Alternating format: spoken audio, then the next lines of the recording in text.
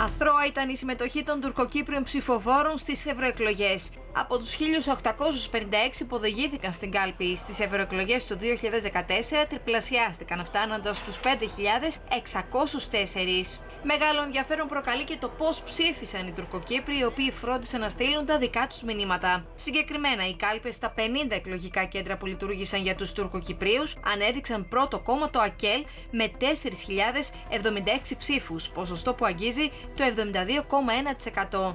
Ακολούθησε το κίνημα του τουρκοκύπριου δημοσιογράφου Σενέρ Λεβέντ για Σεμί που έλαβε 1.335 ψήφους με ποσοστό 23,5%. Στην τρίτη θέση αναδείχθηκε ο Δησί με 68 μόλις ψήφους, ένα ποσοστό της τάξης του 1,2%.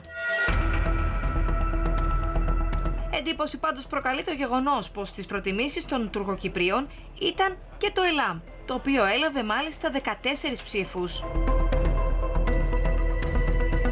Η εκλογή του Νιαζίκη Ζήλγιουρεκ μονοπόλησε στο σημερινό τουρκοκυπριακό τύπο που θεωρεί την παρουσία του στο Ευρωκοινοβούλιο ως μια νέα σελίδα για την τουρκοκυπριακή κοινότητα. Ένας τουρκοκύπριος στο Ευρωπαϊκό Κοινοβούλιο γράφει στο πρωτοσέλιδό της «Η γενή του Ζεν». Για πρώτη φορά στην ιστορία της Κύπρου, Ελληνοκύπροι και Τουρκοκύπροι κατάφεραν μια από κοινού επιτυχία, συνεργάστηκαν και κατάφεραν να εκλέξουν ένα Τουρκοκύπριο στο Ευρωπαϊκό Κοινοβούλιο. Στους ίδιους εκλογικούς ρυθμούς της επόμενης μέρας κινήθηκε η Κίμπρις με τίτλο «Για πρώτη φορά ένας Τουρκοκύπριος στο Ευρωπαϊκό Κοινοβούλιο», έχοντας την φωτογραφία των έξι που θα ταξιδέψουν στην Ευρωβουλή. Η εφημερίδα Αφρίκα περιορίστηκε να βάλει σε κύριο τίτλο την συμμετοχή, όπως λέει, από τον Βορρά που έφτασε το 2%.